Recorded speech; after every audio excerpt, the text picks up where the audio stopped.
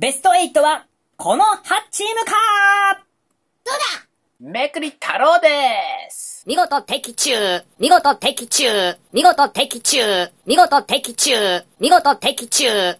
夏の甲子園2023年ベスト16で揃ったこんにちは。私の優勝は、このチームという占いは、えー、誠に申し訳ございません。全部、初戦敗敗退でございましたな、ええある意味、全当て。ー、ヒッポコ。でも、甲子園はここからですまあ、そうだね。気を取り直して。気を取り直してね、はいベスト16で揃いました。いもうどのチームもね、強豪ですよ、これは。うん。ね。で、順番にやっていきたいんですけど、明日15日が、ちょっと台風のため中止。はい。で、16、17でベスト8が出揃うということで、おー、ワクワクしますね。ベスト8を占ってみたいと思いますはい。まずは最初の、このね、8チームから選んでいきたいと思うんですけども、創生館長崎代表対沖縄尚学。まあ、この創生館の方はですね、初のベスト8を目指しているとですね、集中した攻撃力が持ち味。お、こっちすごいですよ。沖縄尚学はまだ沖縄大会から1点も取られてないんですからね、甲子園。えー、すごいねだ。からね、そこからがね、点取れるかどうかっていうところがポイントです。まあ、じゃあズバリ、どっちが勝つか。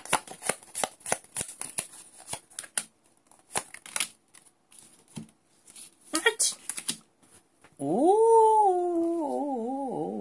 ーなんかどっちが勝つっていう感じじゃないか。互角？でもなんか沖縄尚学は点取られそうだな、これ。初失点が生まれそう。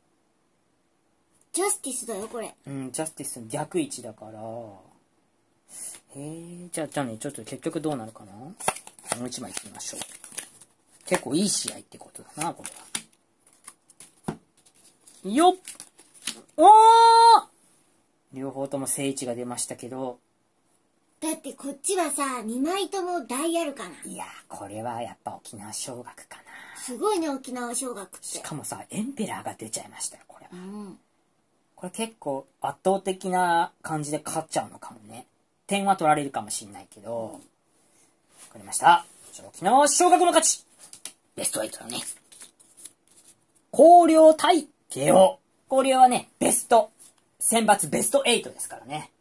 でね、なんかね、ボンズっていうなんかね、バッターの人が、まあ、あだ名で、大リーグでボンボンズってすごいホームランバッターの人がいたんですけど、その人がなんか、に似てるみたいに言われてて、その人の打撃が結構いいんですよね。調子がだんだん上がってきて。ただ、慶応もですね、打線の爆発力はすごいです。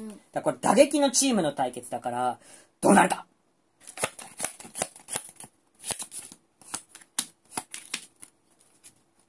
よっん打撃のチームでやったけど、うーん、なんかあんまりこう、点が入りにくい感じなのかな。ソードのページとソードのナイト。じゃあこっちじゃん。ソードのナイトっていう、あ、いけって感じだ。ページよりナイトが上に決まってんじゃん。じゃあ、これ優勝候補ですけどね、慶応勝っちゃうってことか。うんじゃあ、慶応がベスト 8! 清原はね、選手の息子がいますからね、元ね。文星芸大附属対、八戸学院高生。まあやっぱこっちがね、ピッチャーがいいんですよね。左ピッチャーが良くて、こっちがバッターが中心だから、まあピッチャー対バッターみたいな感じなんだけど、さあどうなるか？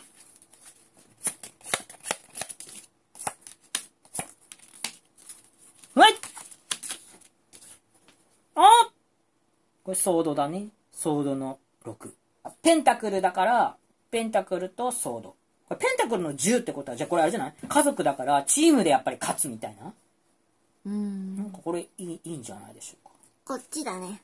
うんだね。だってさ、でもこっちもサインこしてるの？サインはしてるけど、ソードの6だから、これはまあ違う場所へ行ってしまうみたいな感じだから、なんていうの、勝利とは遠いところへ行ってしまうみたいな意味があるじゃあこっちだね。じゃあこっち仙台松戸対土浦日大これも結構ね、近隣同士の対決ですからね。これもね、バッター、いいバッターが両チームにいるから、このバッターを抑えるかどうかっていうところでね、勝利に近づくかっていうところが見てくると思います。大森選手と大井選手ね。さあ、両バッターがどうなるか？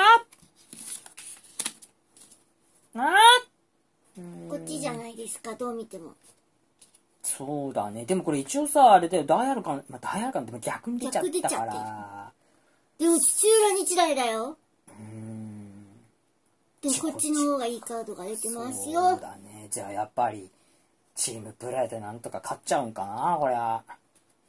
仙台育英対履正社、もうこれほぼね、なんだろう、好カード、決勝みたいな感じになってきちゃう。仙台育英今回強豪とばっか当たってんですよね。でもね、優勝候補だよね、仙台育英。越えられない壁はない。強いよ。でも履正社だって大阪、大阪桐蔭をね、破ってね、来てるからね。やっぱ予想通り強いよね。大阪桐蔭に勝つぐらいだからやっぱ相当強いんだよ。なあ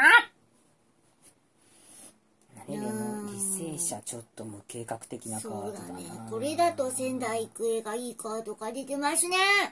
カップのろ、キャップの6だから、ペンタクルの6。となると、施しのカードだから、どう、え、どういうこと？施すうん、でもなんかやっぱ逆位置だもんな。仙台育英かな。智弁学園対花巻東。両方知ってる。本当？名前は知ってるよ、こんなど素人も。ねこれやっぱり常連ですからね。順調に勝ち上がってきて。でも智弁学園すごいですよ。18安打で12得点ですからね、この前。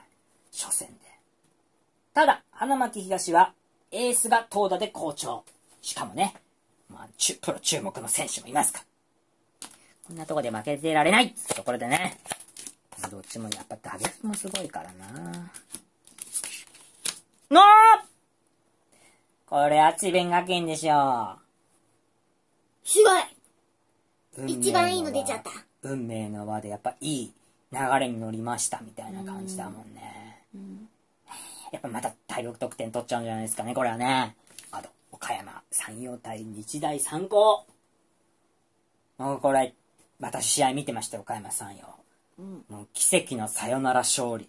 ただこっちの日大三高もキャプテンが今7し、7本連続ヒット中ですからね。これ絶好調ですよ。どっちキャプテン調子いいとさ、やっぱチーム乗るよね。でもサヨナラ勝ちっていうのもチーム乗るから、これ勢いがある同士ですよ。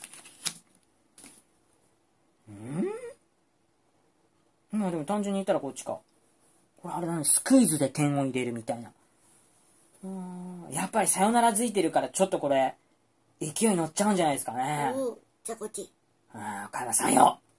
では、最後の試合。神村学園もこれ2試合連続に桁得点。北と南の戦いですね。そうですよ。しかもホッカーもそうよ。2試合連続サヨナラ勝ちだからね。これどっちも勢いがあるんだよね。まあこういうチームが当たるんだよね。どっちかしか勝てないんだからね。これはね、大変ですよ。あは出たーー出ましたね。こっち、ホッカーいっちゃうんじゃない？羽生えちゃってる。やっぱりさ、奇跡の起きるカードじゃない ?2 試合連続サヨナラ勝ちですから、これまたいっちゃうんじゃないの？乗ってますね。ちょっとね、最後に愛を感じられない的な感じだから、ちょっとなんか、しうーん、最後に、しなんだ、野球の神様が微笑まなかったみたいなもう。ちょっと疲れちゃってるっつうのもあると思うよ。というわけで、現時点ではこちらの8校が、ベスト8になるんじゃないかということで、はいました。今度は当たるのかい？今度は任せてくださいなでしこジャパンは当たったのにね。当たったあっちはね、当たったよ。全部ね、外してるわけじゃないんだよ。この前の、この、ここ営業外したけどね。いちいちぶり返さなくていいんだ。さあ、皆さんこっからが楽しくなってくる甲子園楽しむ。注目しましょう。個人の占い鑑定をじゃんじゃん募集しております。概要欄から鑑定ご希望の方はお申し込みくださいませ。あの、すいません。私、ちょっと夏は暑いんですけど、どうしたらいいと思いますか？まず、その毛を刈ればいいと思います。